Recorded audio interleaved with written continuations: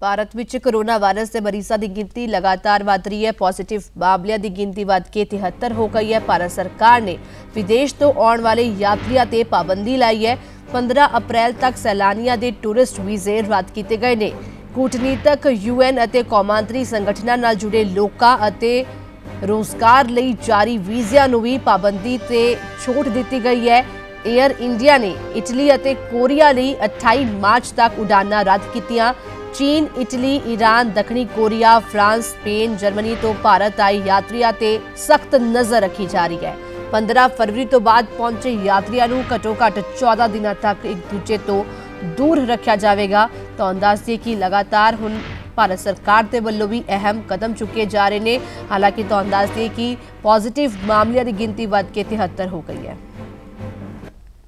एक अच्छा कदम है क्योंकि पूरे अ, इंडिया में नहीं बल्कि पूरे विश्व में यह कोरोना वायरस फैल रहा है।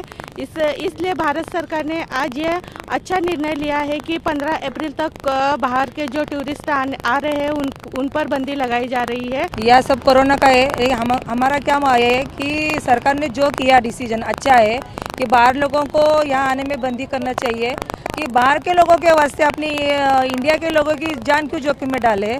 और इससे भी आ, थोड़ा आगे कदम उठाना चाहिए। एक महीने तक जब तक कोरोना का ये पूरा वायरल कम नहीं होता तब तक उन लोगों को बंदी लगाना चाहिए। यदि बाहर से आने वाले लोगों का मेडिकल चेकअप हो करके अंदर लाया जाए तो हमारे यहाँ कोरोना वायरस को फैलने फैलने से रोका जा सकता है।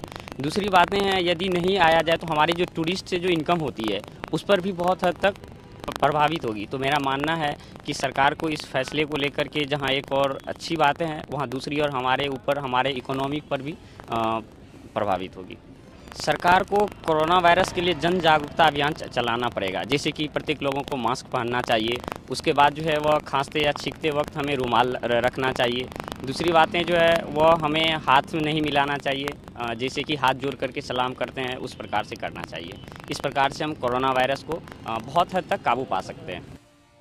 करोना का कहर कुछ यहोजा चल रहा है कि पूरी दुनिया के लोग डरते शायद इसने उस चलद ही भारत सरकार वालों एडवाइजरी जारी की गई है कि पंद्रह अप्रैल दो हज़ार भी तक सारे लोग जो कि हिंदुस्तान आ रहे सन उन्होंने वीज़ा सस्पेंड कर दिए गए हैं मैं इस वे आई जी आई से खड़ा तो आई जी आई जिन्होंने इंदिरा गांधी इंटरनेशनल एयरपोर्ट किया जाता है से बाहर का ਨਜ਼ਾਰਾ ਤੁਹਾਨੂੰ ਦਿਖਾ ਸਕਦੇ ਹਾਂ ਕਿ ਕਿਹੋ ਜਿਹਾ ਆਲਮ ਹੈ।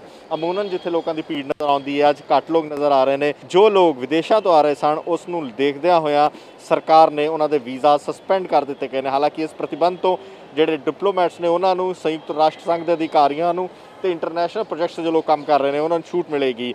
ਲੇਕਿਨ ਇਸ ਤੋਂ ਸਾਫ਼ ਚੀਜ਼ ਹੈ ਕਿ ਜੋ ਲੋਕ ਇੱਥੇ ਵੀਜ਼ਾ ਵਾਸਤੇ ਜਿਨ੍ਹਾਂ ਨੇ ਘੁੰਮਣ ਆਉਣਾ ਸੀ, ਜਿਨ੍ਹਾਂ ਨੇ ਛੁੱਟੀਆਂ ਤੇ ਆਉਣਾ ਸੀ, ਜਿਨ੍ਹਾਂ ਨੇ ਮੁਲਕ ਪਰਤਣਾ ਸੀ ਉਹਨਾਂ ਵਾਸਤੇ ਹੁਣ ਇਹ ਜਿਹੜੀ 13 ਮਾਰਚ 2020 ਤੋਂ ਲਾਗੂ ਹੋ ਕੇ 15 ਅਪ੍ਰੈਲ 2020 ਤੱਕ ਰਹੇਗੀ। ਦੂਸਰੇ ਪਾਸੇ ਫਰਾਂਸ, ਜਰਮਨੀ ਤੇ ਸਪੇਨ ਦੇ ਨਾਗਰਿਕਾਂ ਨੂੰ ਨਿਯਮਿਤ ਤੇ ਈ ਵੀਜ਼ਾ ਤੇ ਵੀ ਸਰਕਾਰ ਨੇ ਰੋਕ ਲਗਾ ਦਿੱਤੀ ਹੈ ਸਰਕਾਰ ਨੇ ਗਾਈਡਲਾਈਨ ਜਾਰੀ ਕੀਤੀ ਹੈ ਕਿ ਚੀਨ, ਸਾਊਥ ਕੋਰੀਆ, ਜਾਪਾਨ, ਇਟਲੀ ਤੇ ਐਸੇ ਜਿਹੜੇ ਜਗ੍ਹਾ ਨੇ ਉੱਥੇ ਰੋਕ ਲਗਾਈ ਜਾਏ। ਭਾਰਤੀ ਨਾਗਰਿਕਾਂ ਨੂੰ ਸਲਾਹ ਦਿੱਤੀ ਗਈ ਹੈ ਕਿ ਜੇਕਰ ਜ਼ਰੂਰੀ ਨਾ ਹੋਵੇ ਤੇ ਵਿਦੇਸ਼ ਦੀ ਯਾਤਰਾ ਨਾ ਕਰਨ। ਜੇਕਰ ਕਿਸੇ ਵੀ ਮੁਲਕੋਂ ਜਾ ਕੇ ਪਰਤਦੇ ਨੇ ਤੇ ਘੱਟ ਤੋਂ ਘੱਟ 14 ਦਿਨਾਂ ਤੱਕ ਉਹਨਾਂ ਨੂੰ ਲੋਕਾਂ ਤੋਂ ਵੱਖਰਾ ਰੱਖਿਆ ਜਾ ਸਕਦਾ ਹੈ। ਚੀਨ, Italy Iran Korea, France, Spain, Germany ਇਹੋ ਜਿਹੇ ਦੇਸ਼ਾਂ ਜੇਕਰ ਕੋਈ ਜਾਂਦਾ ਹੈ ਜਾਂ ਵਿਦੇਸ਼ ਯਾਤਰੀ 15 ਫਰਵਰੀ ਤੱਕ ਰਿਹਾ ਹੋਏ ਤੇ ਉਹਨੂੰ ਭਾਰਤ ਆ ਕੇ 14 ਦਿਨਾਂ ਤੱਕ ਵਾਸਤੇ ਆਈਸੋਲੇਟਡ ਯਾਨੀ ਕਿ ਵੱਖਰਾ ਅੰਡਰ ਆਬਜ਼ਰਵੇਸ਼ਨ ਰੱਖਿਆ ਜਾ ਸਕਦਾ ਹੈ।